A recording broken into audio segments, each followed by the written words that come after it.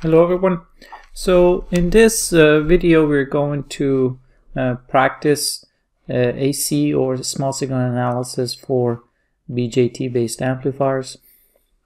I'm going to practice on this specific circuit. So this is a single transistor amplifier and uh, let's first um, identify the configuration for this amplifier. So as you can see the input is connected to the base of the transistor and the output is connected to the uh, emitter. So the terminal on the transistor that is uh, not connected to the input nor the output is the collector and that would be the common terminal for the transistor. Now, um, with that, we can actually start our DC analysis. So I'm going to identify the nodes and in the DC analysis the capacitors are considered open circuit and uh, therefore anything beyond CC1 to the left does not to be considered and anything beyond CC2 to the right uh, does not need to be considered. Uh, this is 9 volts and this would be minus 9. This would be our VE. Right here is our VB. This current going in, I'm going to call it IB. The current here would be IC. Current here, IE. And call this I1 and finally I2. And we're going to start writing the equations. Uh, there are two KCLs. There's the KCL for the node VB. And that would be I1 is equal to I2 plus IB. And then there's the KCL for the transistor itself, which is IB plus IC is equal to IE. Now we're going to move on to equations for components. And again, we're going to remind ourselves that at this point we are doing DC analysis.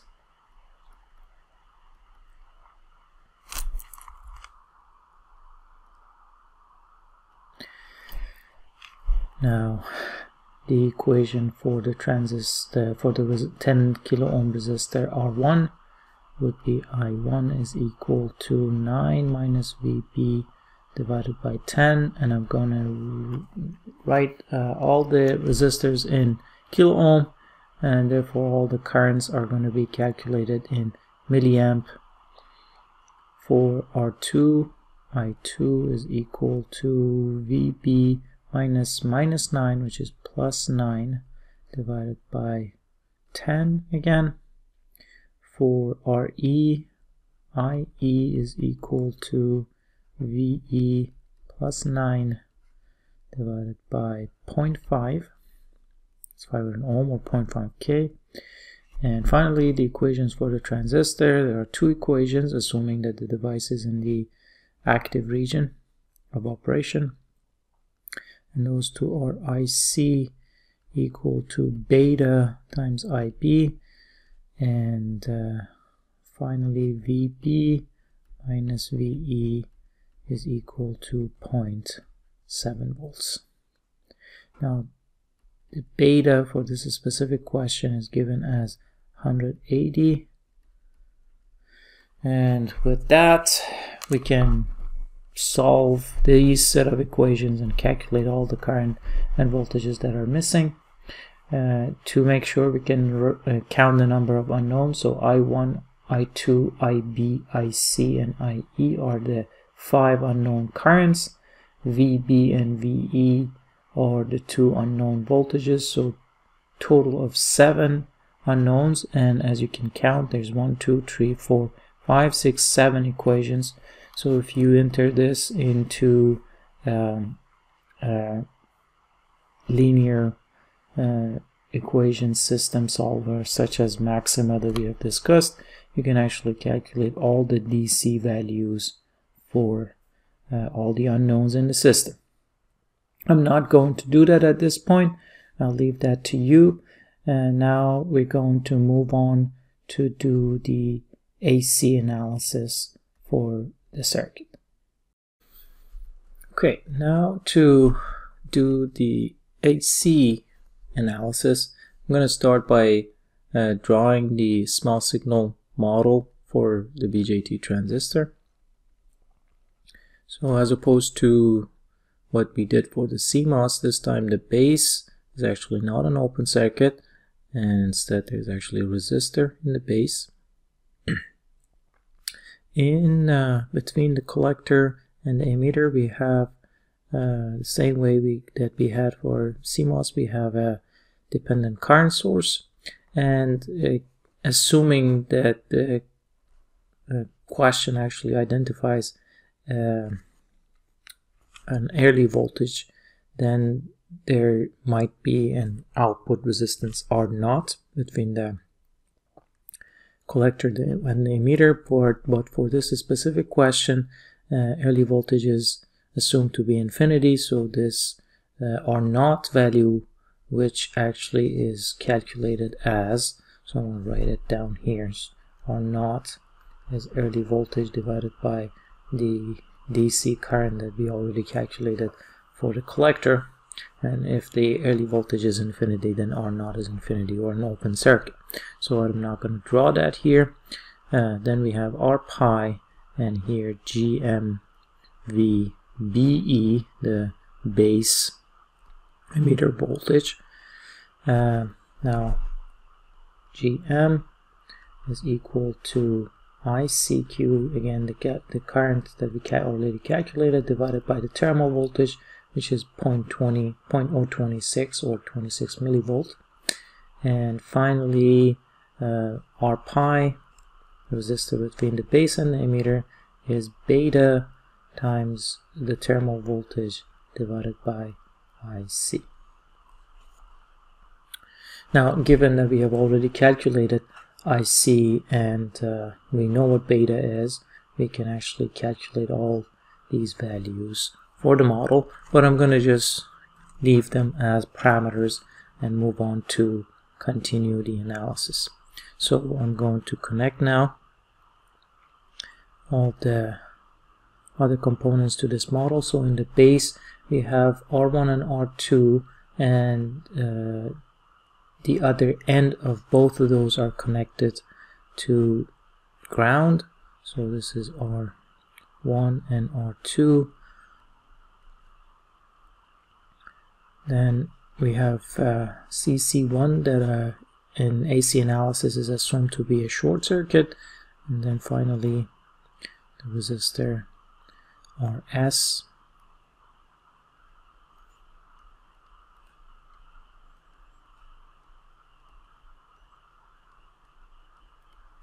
Now in the collector this is directly connected to ground. All the DC voltages are short circuit. And in the emitter we have RE and then we also have uh, CC2 that is a short circuit now. And then finally RL now we can start uh, analyzing this circuit. So this is RBS this we're going to call VB this is our actually this whole thing is our V out. And everything else is obviously ground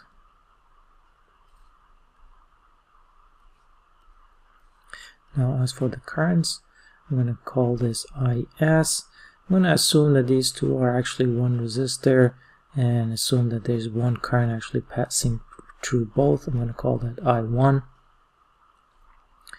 We call this one IB passing through R pi. I'm going to call this IE, this IL. Now, before I start writing all the equations, I'm going to define what VBE is. So VBE is VB minus VE. VB uh, in this case is still VB and our VE, the emitter voltage, is actually V out. So VB minus V out. Now I can start writing all the equations. So I write the KCL for node VB. Uh, that would be IS is equal to I1 plus IB. And then I'm going to write the KCL for node V not or V out. So IB plus GM times VB minus V out is equal to IE plus IL. We could have actually considered these two to be in parallel to each other and uh, do the same thing that we did there. Maybe that's uh, that's actually not a bad idea to simplify all these equations. regardless, I'm going to keep it this way and move on equations for components. So IS is equal to VS minus VB divided by RS. I1 is equal to VB minus 0 divided by R1 in parallel with R2 and then uh, IB is equal to VB minus V out divided by R pi. I'm going to keep going here. IE is equal to V out divided by RE and uh, IL is equal to V out divided by RL. So with all of this now we can manipulate these equations and calculate uh, V out over VB or V out over VS. V out over VB would be the gain of the amplifier from this node right here to that node um, and V out over Vs would be the overall gain. So I'm going to use our uh, calculator maxima to do this. Okay, so we are going to choose the linear system solver. Uh, we have one, two, uh, three, four, five, six, seven equations. Uh, IS is equal to I1 plus IB, IB plus gm times v b minus v out is equal to ie plus il is is equal to vs minus v b divided by rs. I1 is equal to vb. Divided by r1 in parallel with r2 I'm gonna now do that. So that would be multiplied by uh, r1 plus r2 divided by r1 times R2.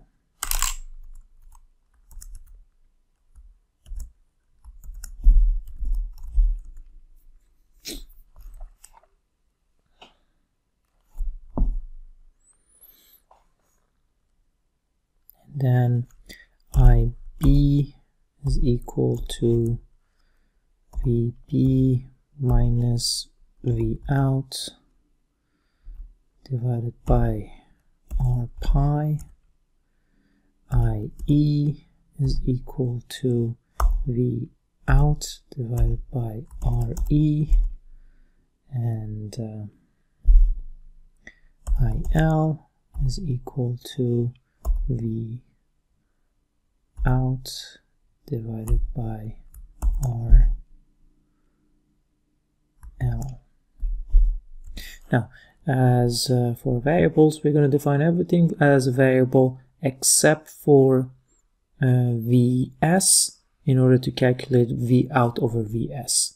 So Is is a variable, I1 is a variable, IB is a variable, IE, IL, um, VS, uh, VB, V out, they all are variables.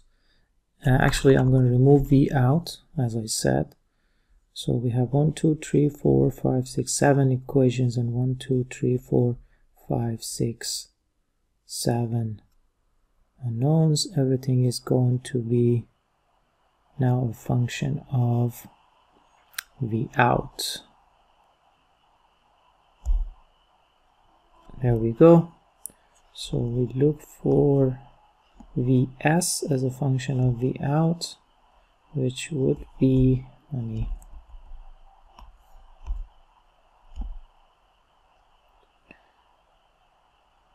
find it right here.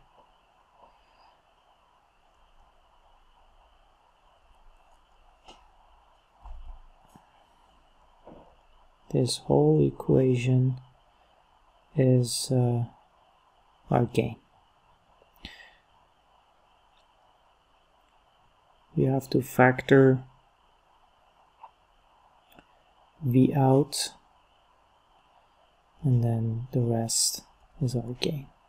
So it looks um, quite complicated um, and it's because I've used all these as unknowns and uh, therefore the gain seem to be a function of all these resistors in a circuit. Um, if I take R1 and R2 as one resistor and call it uh, say Ri and then these two as one resistor the equation for the gain would not be looking as complicated as what you see here. Um, nevertheless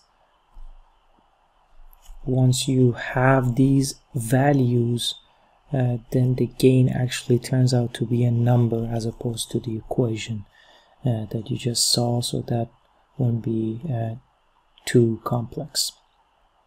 Now, uh, the next step is to calculate RIB and R out.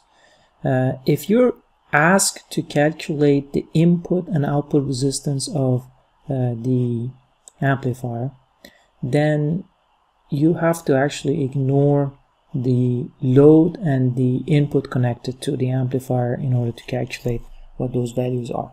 But here the question is actually asking to just calculate these resistors. It's not the output uh, resistance of the amplifier or the input resistance of the amplifier. These are the resistance in this specific circuit, which is a um, slightly different question. Okay, so uh, to calculate RIB, uh, we actually don't have to change anything in the circuit and we can use the equations that we already wrote here um, and the only thing that we have to change is our variables. So if you notice uh, RIB could be defined as the voltage uh, VB divided by the current IB that's by definition the resistance looking into this node uh, the base. Uh, so it's a voltage divided by the current. So all I need to do is to just go back to our maxima and uh, change our variables. So we at this point wrote all the equations uh, as a function of v out. So we're going to change that and write everything as a function of ib so now ib is going to be our variable and uh, v out Ib is no longer going to be our variable but v out is going to be. And what I'm looking for is uh, vb divided by ib so I'll repeat our calculations and uh, go back and look at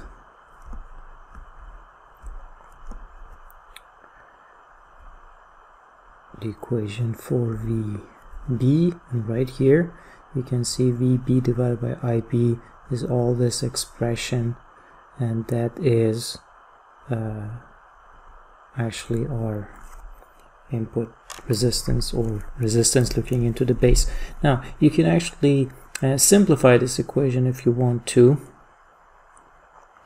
Um, if you notice uh, GMR pi is actually beta so beta times RERL over RE plus RL that's actually beta times RE in parallel with RL and then that's added to just R pi because these two cancel out. And then that's added to RE in parallel with uh, RL so if I want to write uh, the equation for uh, input resistance looking into the base that would be beta plus 1 times RE in parallel with RL plus R pi this is basically showing you the same equation. Um, so that's that. Now in order to do the output resistance that's a slightly different uh, because with the output resistance I actually have to uh, basically get rid of or turn off VS uh, and then remove RL because we're looking back into uh, the amplifier so RL is not going to be considered. Put a test voltage right here and then look at the current that is going in. So a bunch of these equations are going to be different. I'm going to just change these equations on the fly and look for output resistance V out um, divided by the current I out. So if that's ground uh, the KCL here is going to change this way. There's going to be an IB this KCL is not going to change. We're going to keep it the way it is. Um, here we're going to have IB plus GM times VB minus V out. I'm going to assume that V out is our test voltage, so I don't have to change that. But right here, we have uh, actually, we're going to change the uh, direction of the current and call this equation IL. Maybe this is going to get a bit uh, complex to follow, so To remove this.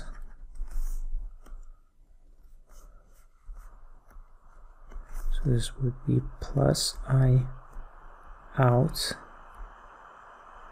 is equal to IE. That's assuming that I'm removing RL uh, and putting my test voltage, but I'm going to call my test voltage V out. So this is V out and I'm looking at the current I out going to that node. And I'm also removing this and then directly connecting that to ground. So now right here, this equation is going to change. Vs is gone. That would be 0 minus Vb uh, that's IS this equation is going to be the same I on IB is going to stay the same. IE is going to stay the same but there won't be an RIL equation. Now what I'm looking for is V out divided by I out as for the output resistance so I'm going to go back to our maxima and uh, I can either change the equation that I already wrote or just enter new equations either way. So this time we have uh, six equations as opposed to the seven that we had before.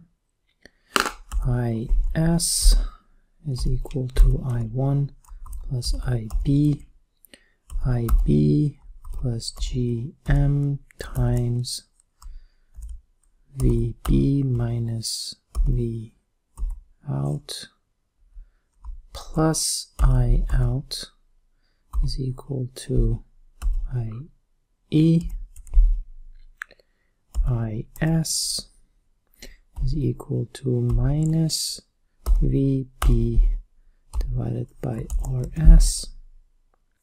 I1 is equal to VB times R1 plus R2 divided by R1 times R2 and uh, IB is equal to VB minus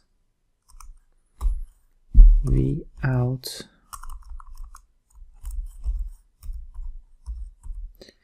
divided by R pi and finally IE is equal to V out divided by RE. Now, to define variables, I'm looking for V out over I out and um, therefore I out is my parameter and everything is else is uh, the variable so is is a variable i1 is a variable ib is a variable ie is a variable. Then vb is a variable. V out is also a variable.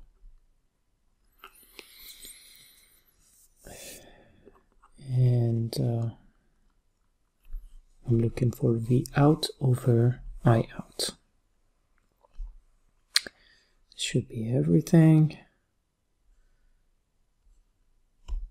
And we look for the equation for V out right here as a function of I out. So all of this right here divided by all of this is basically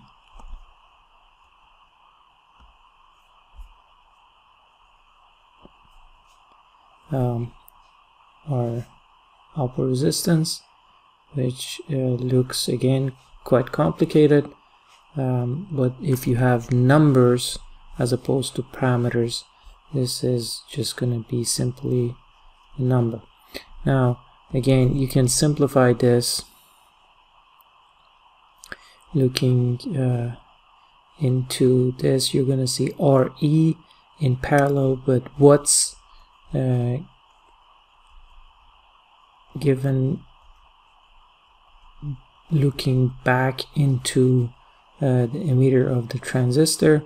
So RE is going to be in parallel with 1 over GM looking into this current source. And then it's going to be also in parallel with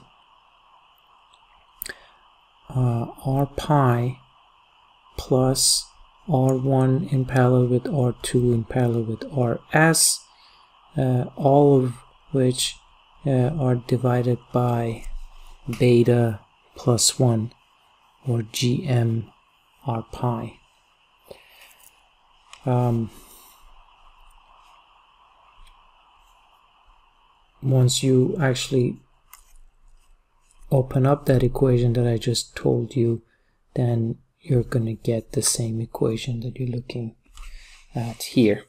So I'm going to go here and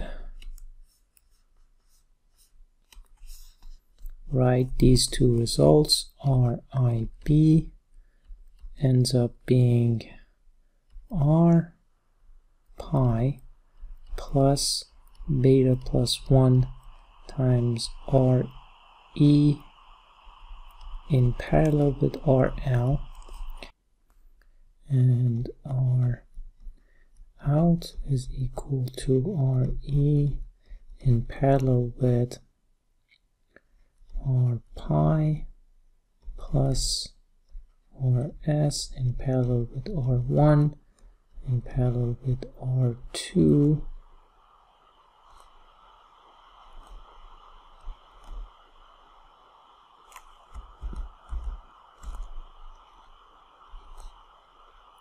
and this whole thing divided by beta plus 1 so looking into the base the resistance that you see in the emitter which is RE in parallel with RL is actually um, magnified by a factor equal to beta plus 1 uh, but looking into the emitter um, back you actually see everything that is in the base which is R pi and everything else uh, in series to that uh, reduced by a factor of beta plus 1 and this uh, effect is in BJT is called impedance uh, transformation. Uh, looking into the base uh, the impedance in the, in the, emitter is actually transformed by beta plus 1 times. And looking into the emitter the, everything in the base is transformed by um, uh, beta plus 1 times smaller or divided by beta plus 1 time um, I don't expect you to memorize these equations because if you have access to calculators you can always calculate any of these values just using the basic equations that we always use. Uh, thank you very much. Hopefully this has been uh, helpful.